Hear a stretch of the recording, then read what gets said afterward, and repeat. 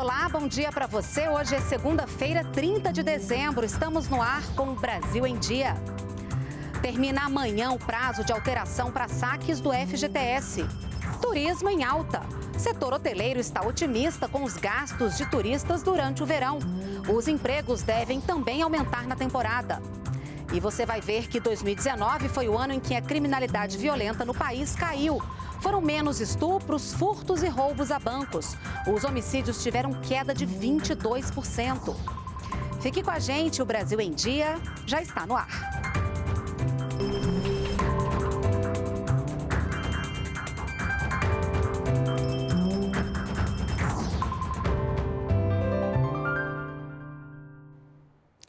São 9 horas e 45 minutos, estamos ao vivo também pelas redes sociais. O trabalhador que optou pelo saque aniversário do FGTS e mudou de ideia tem até amanhã para informar a decisão à Caixa Econômica Federal. A repórter Luciana Colares de Holanda explica tudo para a gente agora. Lu, bom dia para você.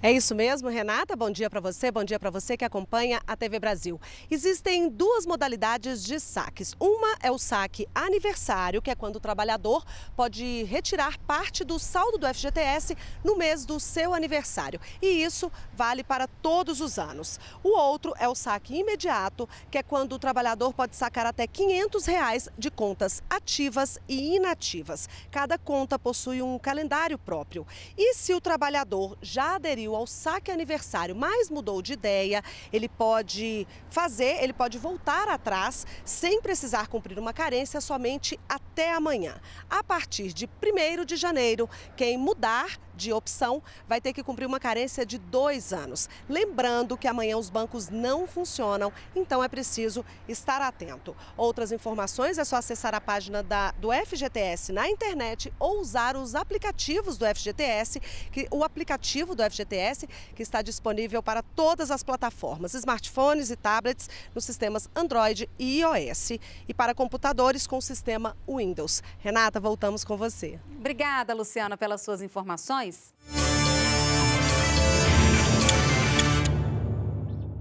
E olha, 2019 foi o ano em que a criminalidade violenta caiu no país. Foram registrados menos estupros, furtos e roubos a bancos. Os dados revelam que o número de homicídios foi o que teve a maior queda, 22% a menos que em 2018. Isso quer dizer que quase 7 mil vidas foram preservadas. A quantidade de homicídios no Brasil caiu 22% em relação ao ano passado. Em 2018, mais de 30 mil pessoas foram assassinadas. Este ano, o número caiu para 23 mil. Os dados fazem parte de um balanço dos trabalhos do Ministério da Justiça e Segurança Pública. Também houve queda nos registros de estupro, furto de veículos e lesão corporal seguida de morte. Segundo o ministro, a redução da criminalidade no país é uma das principais conquistas da pasta em 2019. Boa parte da criminalidade violenta nas regiões metropolitanas está vinculada à criminalidade organizada.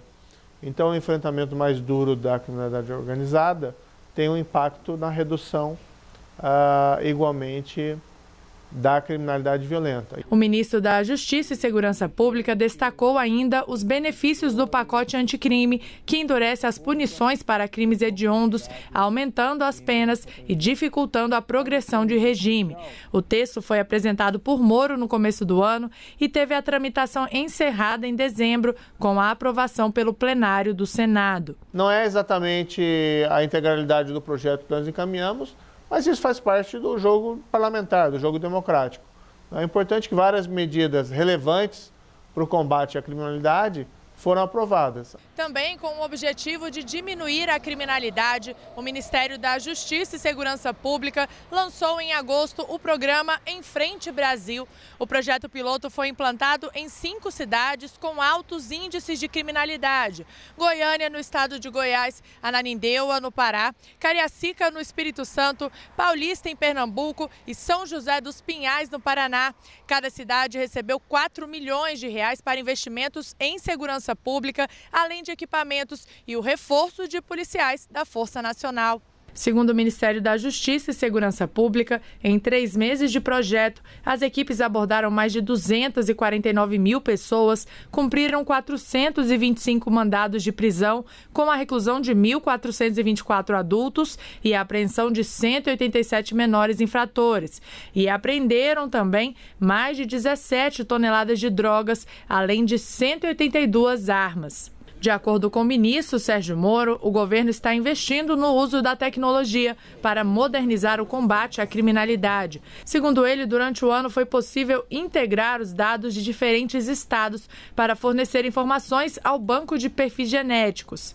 De acordo com Moro, foram coletadas amostras do DNA de 67 mil condenados em 2019 e investidos 35 milhões de reais no setor. Em um ano, nós colhemos mais do que quase o décuplo do que foi feito desde, em seis anos desde o início da lei. Então se pode avançar muito. E qual é o resultado disso? Crimes começam a ser descobertos. Olha, e neste ano, o combate a doenças raras também ganhou um reforço. A Anvisa simplificou as regras para a aprovação de medicamentos para tratar essas doenças. Como resultado, o número de remédios quase dobrou. Erfandel, Translarda e Besponsa.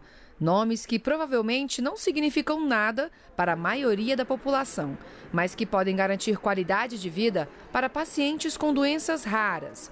Estes são alguns dos 19 medicamentos aprovados em 2019 pela Anvisa, 90% a mais que a quantidade de registros de remédios para doenças raras feitos no ano passado.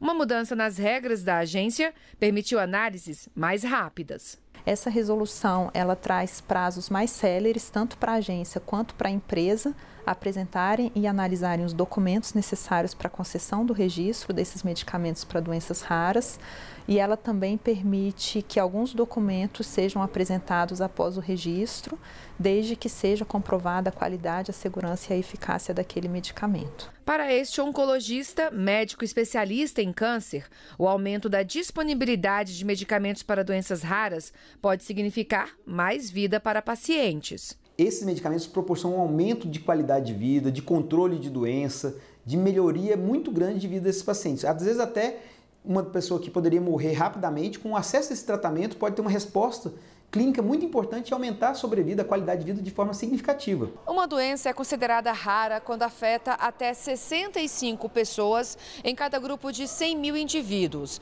Não tem cura e as opções de tratamento disponíveis são muito poucas. No Brasil, estima-se que quase 13 milhões de pessoas vivam nesta situação. Após o registro, as empresas têm até um ano para oferecer o medicamento no mercado nacional. Este ano, a Anvisa também aumentou em 40% o número de aprovações para estudos clínicos relacionados a doenças raras. Em 2018, foram aprovados 17 estudos clínicos de medicamentos para doenças raras. Em 2019, foram 24 aprovações, o que coloca o Brasil em uma posição mais competitiva e também fornece acesso da população a esses medicamentos na fase de estudo clínico. Está aberta a temporada de sugestões para a renovação da concessão da BR-116, que faz a ligação entre as duas maiores regiões metropolitanas do país, São Paulo e Rio de Janeiro. Vamos então até a capital paulista saber os detalhes ao vivo com Dimas Sold. Dimas, bom dia para você. Bom dia, Renata. Estão marcadas audiências públicas para o começo do ano em Brasília, no Rio de Janeiro e aqui em São Paulo. O objetivo é colher sugestões e contribuições à proposta de inclusão de novos investimentos para a renovação da concessão da BR-116, a Via Dutra, que liga São Paulo ao Rio de Janeiro. O novo contrato será de 30 anos e estão previstos investimentos de 17 bilhões de reais pela futura concessionária. O contrato atual expira em 29 de fevereiro de 2021. A Dutra foi a primeira rodovia federal concedida em 1995. A previsão é que o leilão ocorra no segundo semestre do ano que vem. As contribuições podem ser enviadas até o dia 3 de fevereiro. Todas as orientações estão no site www.antt.gov.br. Renata. Obrigada, Dimas, pelas suas informações ao vivo. Olha, Réveillon chegando e turistas em transatlânticos começam a desembarcar no Rio de Janeiro para curtir a festa da virada. E toda essa movimentação pode injetar aproximadamente 3 milhões de reais na economia do município. E o setor hoteleiro também está otimista. Não é isso, Maurício de Almeida, direto do Rio de Janeiro. Bom dia para você.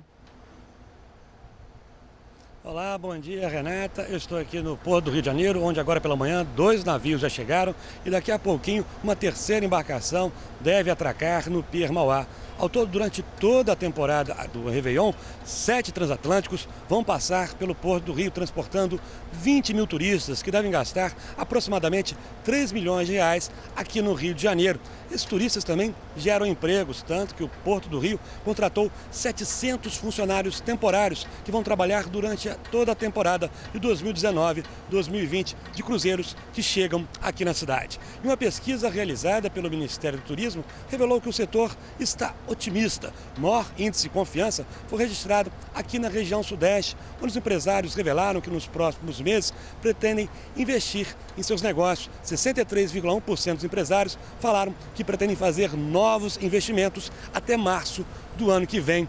E o setor hoteleiro também está otimista em todo país. Essa pesquisa do Ministério do Turismo revelou que no terceiro trimestre desse ano, o faturamento do setor hoteleiro no Brasil aumentou 29,4% em comparação com o mesmo período do ano passado. Renata. O dia está bonito por aí, Maurício. Muito obrigada pelas suas informações. Bom trabalho. A primeira infância é o período mais importante para o desenvolvimento linguístico de uma criança, segundo o Ministério da Educação. Por isso, foi lançado esse ano o programa, o programa Conta para Mim, que prioriza a participação dos pais nessa etapa da vida dos pequenos. Tainá é mãe de Luana, que hoje tem seis meses. Desde os três, a bebê ouve histórias com direito à narração e vozes dos personagens pelos mares do mundo. A pequena nem sabe ler, mas já tem uma biblioteca e mostra certa intimidade com as páginas. E não é que a menina já tem o seu livro preferido? Eu faço a voz da baleia, então é uma coisa diferente. Então ela já olha e Aí fica esperando eu ficar falando com ela em voz de baleia, contar da baleia. Ler para uma criança de qualquer idade é fundamental para despertar a sua curiosidade pelo livro e pelas narrativas. Para essa psicopedagoga, além do cognitivo, o estímulo à leitura desde cedo contribui para o desenvolvimento geral da criança. Ajuda na perspectiva de desenvolver a fala, a oralidade, a própria percepção visual que a criança faz, né? Tudo isso tem impacto quando a gente permite o acesso das crianças a livros literários ou qualquer outro material de leitura. Ler é viajar para universos distantes sem sair do lugar é dar asas à imaginação e entrar no fabuloso mundo encantado dos contos de fadas, fábulas e lendas, e assim despertar o gosto pelo conhecimento. Momentos como esse são muito importantes para a formação de pessoas melhores, de pessoas mais sensíveis. É através da leitura que a gente se torna um adulto criativo, é através da leitura que a gente expande nosso vocabulário, entra nesse universo da imaginação, faz com que a gente seja adultos melhores, né? E tem esse poder de sonhar, de transformar o mundo e acreditar. A Bia tem quatro anos e ainda não sabe ler, mas adora histórias. O pai da menina, jornalista, escreveu um livro só para ela, em que incentiva a filha a doar parte das muitas bonecas que tem. Doei para crianças.